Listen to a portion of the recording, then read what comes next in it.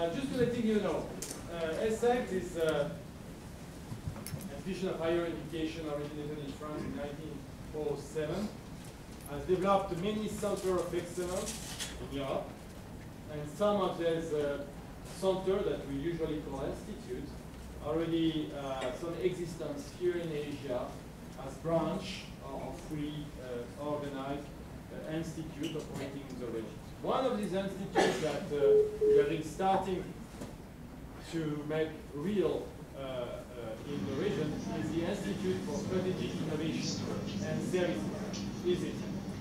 Uh, this institute has been focusing for the last uh, 60 we started more than that. We started in 2004 as a, as a fully integrated uh, research institute within ESSEC with the help of many companies, sponsorship from either public agencies, uh, large corporations such as the BMW from Germany, such as the EDF, uh, uh, a large uh, power producer uh, company like uh, Bouygues and Bouygues Telecom, then Sodexo, more recently La Poste, and many other from both the manufacturing and the service industries, aiming to sponsor research and events regarding uh, innovation strategies and innovation innovation process in a service slash experience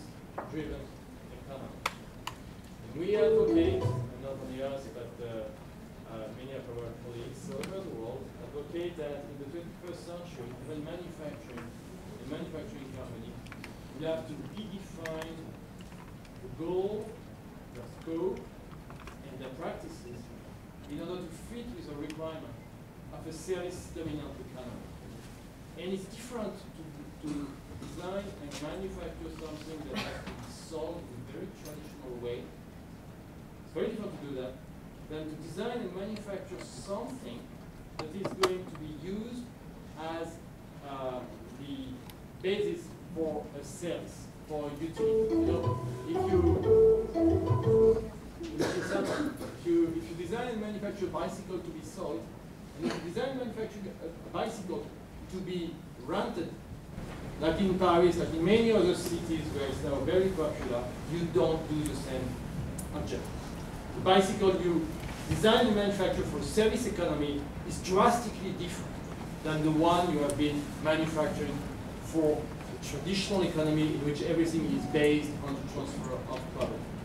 So we believe in the 21st century we'll have more and more and more situations all over the world where decisions will be made by decision-making process to use, to rent, to lease, uh, rather than to buy equipment or product. And that has a drastic consequences on the way to define the innovation process, leading not only to the design of a tangible product, but to the design of an intangible experience associated with the physical support that is the product. So all our work have been motivated by this idea of looking in depth of what it means at different levels for a purely service provider, for a manufacturing company, for a company operating in North America, for a company operating in Asia. What does it mean to deal with this new requirement of the economy? Uh, uh, since we do, well, kind of uh, put together some kind of research, we do usually present our results regularly in event that we call the matin de l'innovation. So since uh, 19, uh, 2004, we have been uh, asking not far from uh, 500 executives to come and discuss with us the different, their different um, projects to expose the result of our study. And we have decided to replicate and to localize this uh, sort of events in Asia. Starting with this uh, matin d'innovation. Matin d'innovation means morning. Well, it's morning in France, it's afternoon here, it's why we call it here uh, Masterclass Innovation Mastercard class, because uh, uh, we will not uh, organize it in the morning if we want to have a visual conference coordination, we probably do it the, during the afternoon. And we are planning to regularly uh, organize this sort of uh, possible discussion on timely topics, such as the one we have picked for today, how multinational invest in R&D in Asia. What's their strategy? Why they are doing that? How they are doing that? What do they expect from it? And how possibly the whole landscape of research and development does evolve uh, in, in today's world. And it does evolve a lot. So in order to discuss the point, we have asked uh, three contributors uh, to, to present uh, three different papers uh, using alphabet order. First, uh, Xavier Baraton, uh, who's an engineer, of course it makes sense, I'm sure the three of them are engineers. And Xavier Baraton has been working with ST Microelectronics since 1997, am right? Um, uh, current time, you, you are the Vice President for Packaging and Test Manufacturing for the Corporate Packaging and Automation Division. You will explain in more detail uh, what that is. Thank you very much for uh, spending the time, finding the time to be with us. François Luc is the Vice President for uh, R&D at Thales Solution Asia. Uh, initially, not an engineer, the real guy, a physicist, right? with uh, degree from the École Normale Supérieure, I think the French know what Normale Sup is, or the other that don't know, it's a very elitist scientific uh, school, and uh, uh, understand François Luc said. It's the only, it's only French school which is in Shanghai. in the Chinatown, uh, uh, Shanghai uh, ranking. You're right. Absolutely, absolutely, yeah. Surely, um, uh, surely did into, into science, and then you, you performed a PhD in physics as well uh, before starting. Actually, a long time ago, uh, right? You have been you have been very uh, loyal to Thales, if I'm right, because you started with Thomson for a couple of years, and then since 2001, uh, you're working with Thales. And then Xavier Pereira, um, who is marketing director for Microsoft Asia Pacific. And you might ask, why marketing director? Well, we are talking about innovation and R&D, and we are talking about manufacturing and services. And it's making a lot of sense not to uh, only work within the framework of one given culture, like technological culture within the framework of manufacturing company.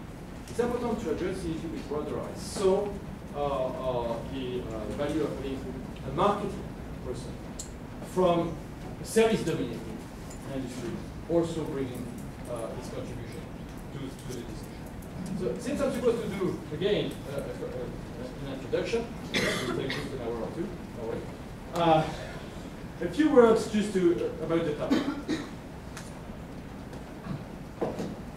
That's a Singaporean, very strong, well designed. Um, first of all, we all know that, and it's important to have that in, in mind. R&D spending has grew and still grow. The growth is very significant despite the economic situation.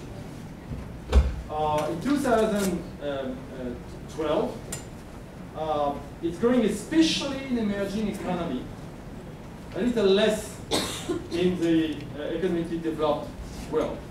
So in general, the curve is definitely positive, with obviously an effort made by all emerging countries, more or less. Uh, we'll see the position.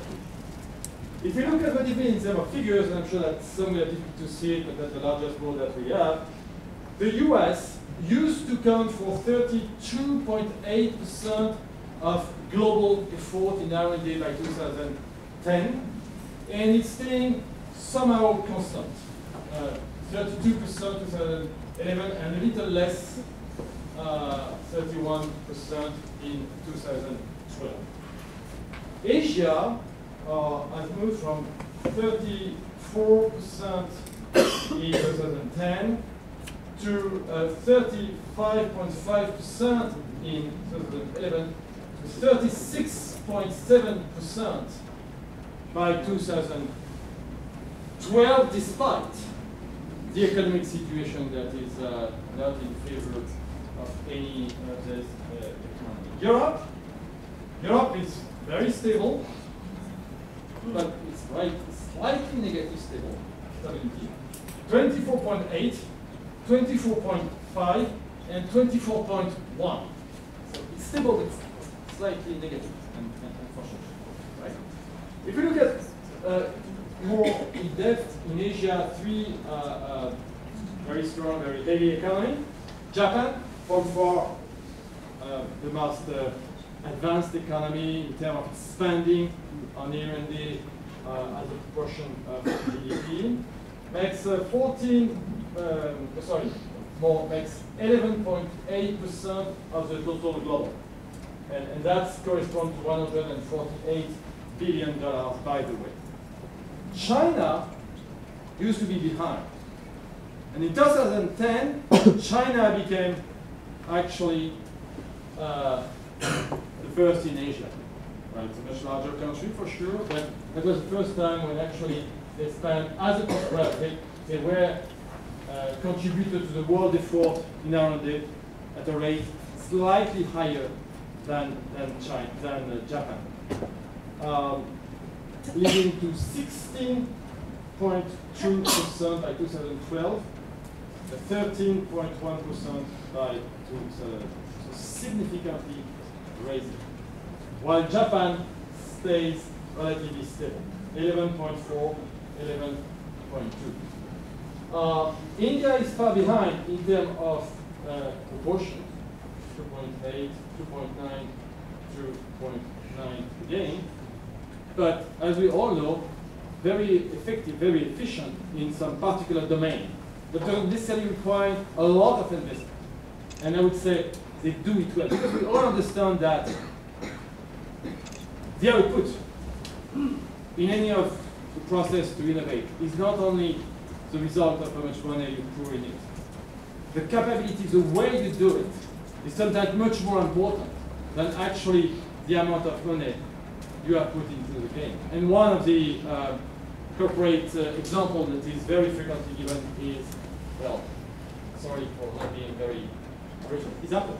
Apple for many years has invested significantly less in terms of dollars value and in terms of proportion of their uh, uh, in R&D than many of its competitors.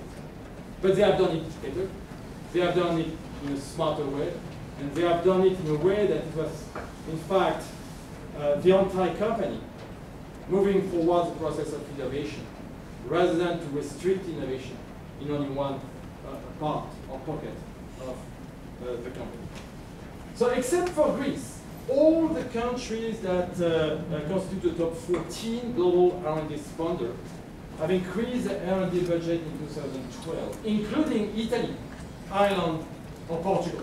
And we know that these countries have, have faced in 2012 and still face uh, tremendous um, economic challenge. The European Commission has established its uh, uh, investment program 8 and is planning to uh, double the amount of research, uh, the amount of money invested into basic research by 2014, reaching 16 billion in uh, sponsorship for research in basic science. However, on the other hand, we know that the US is still considered as leading in many technologies. McKinsey uh, worked out a survey in 2011, results just published now, about what people feel in multinationals about investing in R&D in emerging countries. Two-thirds of the executives uh, that were surveyed said their company are doing uh, R&D in emerging countries, which means one-third, I answer no in multinational. Two-thirds already significant. They seem that most of them uh, try to align their goals, uh, whether they are looking for lower development cost or to gain better access to customer insights, with their specific R&D uh, focus in emerging economies. Not that they're doing research just for the sake of it. They're really trying to align things with what they are looking for, which makes a lot of sense. However, many managers at the top of R&D organizations are claiming that they are a bit disappointed by the performance of the top management of their research facilities in emerging countries. One of the reasons being that they say they are facing the problem of high specialization. Uh, outstanding research in one technological domain, difficulty to cross the uh, different domain, the one with the other, difficulty to establish an holistic vision of the uh, innovation output, difficulty to mix uh, service value with technological value, which today's world is critical for the success of any uh, innovation process. However, uh, when asked why they have uh, decided to invest in R&D in emerging countries, 44% in this survey are saying that even if it is less and less true, they initially decided to conduct research in emerging countries to get access to low cost.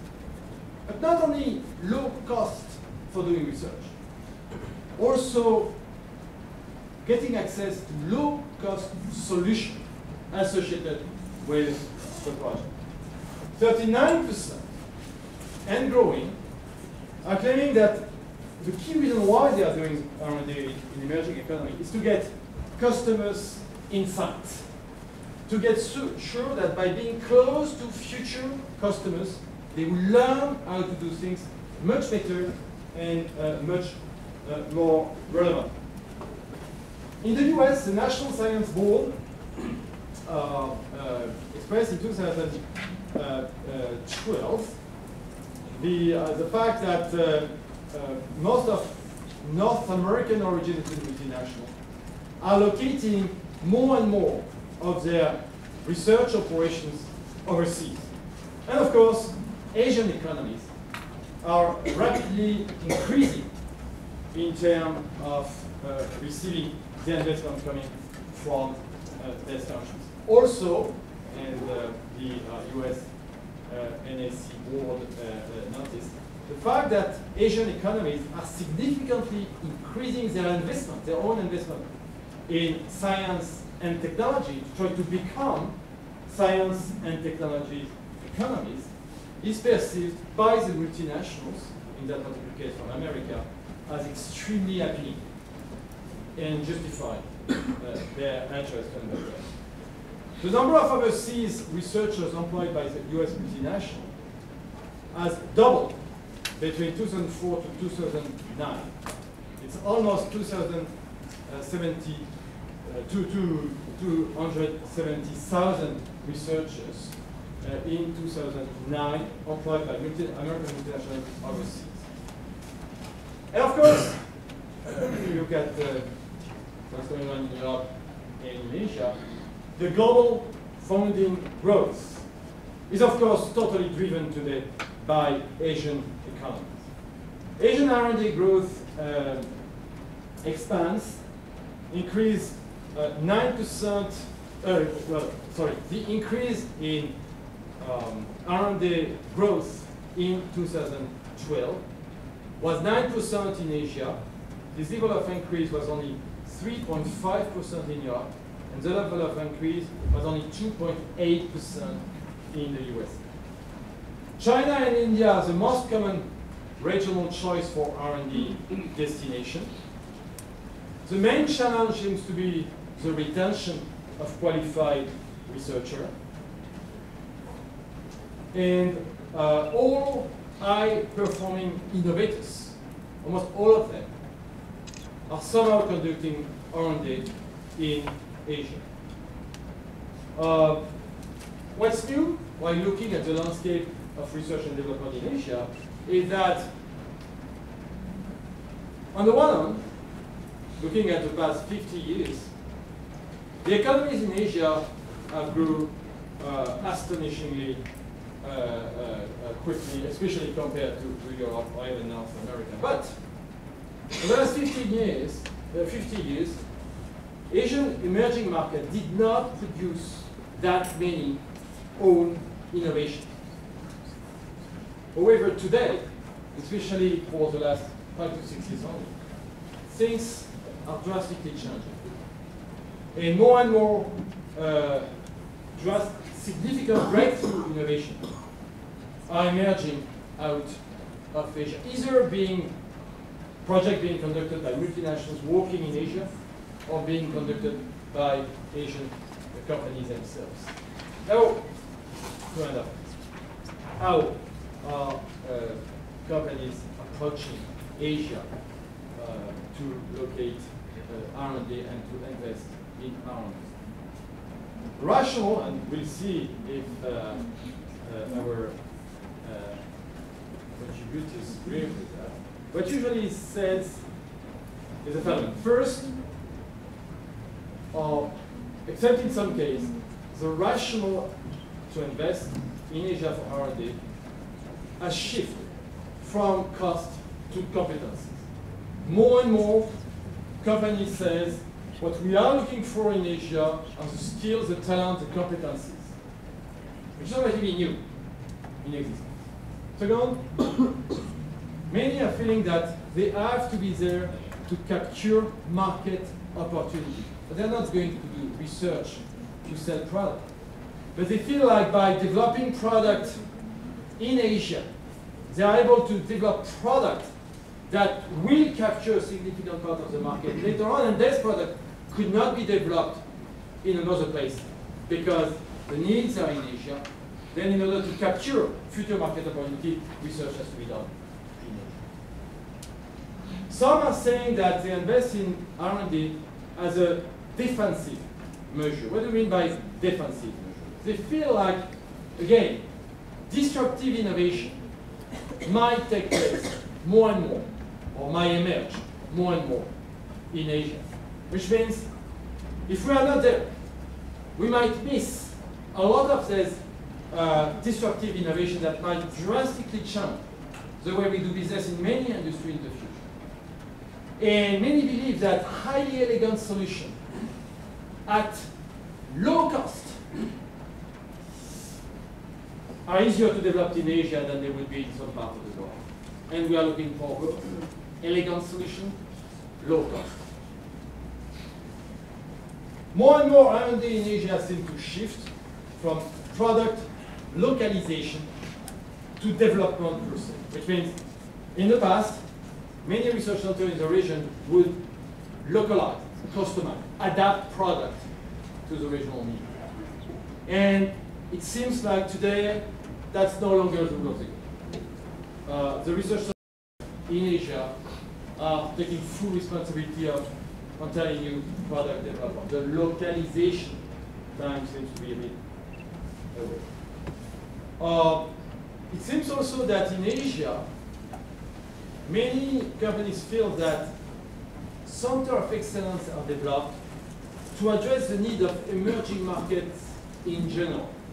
Meaning, if you want to be successful in Latin America, if you want to take advantage of the uh, suggested new growth of Africa, you need special solutions. And these solutions are developed in Asia. Uh, the Center of Excellence focusing on satisfying the needs of the demanding areas of Asia are uh, providing solutions that could be uh, used, uh, duplicate in other emerging markets. companies are also recognizing that the process companies use to pursue innovations in emerging markets is different to the process they usually have been using in established market. And they more and more uh, get the feeling that the process they have been using are no longer appropriate, which means more they develop R&D in Asia, more they work at re-engineering the way they do research in their home base, being North America or Europe. Uh, something that is uh, uh, also noticed is that the focus of R&D center in Asia is more on product development than on pure science development, making a lot of sense. However, it might slightly change. And the most advanced uh, player in the area, especially, you know, we think about Japan, would Singapore, with uh, Taiwan, uh, South Korea a little bit, are investing a lot also in pure science. However, pure, pure science is not exactly innovation, it's what takes place before innovation. That's also going probably to, change a lot. And finally, I have two comments. Uh, companies are saying that uh, in order to locate the R&D centers in Asia, the overriding uh, um, uh, considerations is about the availability of the really skilled worker. And it seems to, to be key, surveys after surveys, this notion of getting access to the right type of engineers and scientists uh, is key for the, for the location. Which means some places that used to be the center like, like Beijing, like Bangalore, other places that used to be regional center for innovation are no longer perceived as a place to be. Because it's becoming too difficult to hire the right people and too expensive as well. And new places in Asia are emerging where precisely uh, you could get access to uh, people a bit, uh, a bit easy time. And the last thing is, surprisingly, government incentive. You would expect government incentives to be key, tax reduction and so on. And they say, well, it has a limited importance, in fact. What's more important is really about government policy regarding, for instance, education. Something like Andrew has perfectly well understood and deployed last decade. Government policy to support higher education and policies to promote technology adoption within the society are perceived as more important than uh, tax package, uh, tax division. Well, of course, they are good to take. It's not that that we don't like it, we, we like that better. But in order to make a decision, they come second. First are really about how the educational infrastructure and the educational, uh, the resource infrastructure really uh, is worked out in a way to In Asia, are taking full responsibility of, telling you product development. The localization time seems to be a bit away. Uh, it seems also that in Asia, many companies feel that center of excellence are developed to address the need of emerging markets in general. Meaning, if you want to be successful in Latin America, if you want to take advantage of the uh, suggested new growth of Africa. You need special solutions. And these solutions are developed in Asia. Uh, the Center of Excellence focusing on satisfying the needs of the demanding areas of Asia are uh, providing solutions that could be uh, used, uh, duplicate in other emerging markets. Companies are also recognizing that the process companies use to pursue innovations in emerging markets is different to the process they usually have been using in established market. And they more and more uh, get the feeling that the process they have been using are no longer appropriate, which means more they develop R&D in Asia, more they work at re-engineering the way they do research in their home base, being North America or Europe. Uh, something that is uh, uh, also noticed is that the focus of R&D Center in Asia is more on product development than on pure science development, making a lot of sense. However, it might slightly change and the most advanced uh, player in the area, especially, you know, we think about Japan, about Singapore, with uh, Taiwan, uh, South Korea a little bit, are investing a lot also in pure science. However, pure, pure science is not exactly innovation, it's what takes place before innovation. That's also going probably to, to change a lot. And finally, I have two comments. Uh, companies are saying that uh, in order to locate the R&D centers in Asia, the overriding uh, um, uh, considerations is about the availability of the really skilled worker. And it seems to, to be key, surveys after surveys, this notion of getting access to the right type of engineers and scientists is key for the, for the location. Which means some places that used to be the center, like, like Beijing, like Bangalore, other places that used to be regional center for innovation, are no longer perceived as a place to be. Because it's becoming too difficult to hire the right people and too expensive as well. And new places in Asia are emerging where precisely uh, you could get access to uh, people a bit, uh, uh, uh, a bit uh, easy. And the last thing is, surprisingly, government incentive. We would expect government incentives to be key, tax reduction and so on. And they say, well, it has a limited importance, in fact. What's more important is really about government policy regarding, for instance, education. Something like Andrew has perfectly well understood and deployed Government policy to support higher education and policies to promote technology adoption within the societies are perceived as more important than uh, tax package, uh, tax division. Well, of course, they are good to take. It's not that companies we don't like it, we, like better. But in order to make a decision, they come second.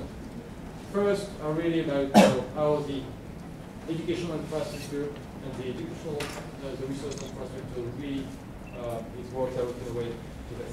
Here are some of the findings in the recent research. A lot of things we could say about what the future will be about. I think we'll keep it for later. I think it's already time, more than time, to give to François Luc and Thales the floor. Thank you very much.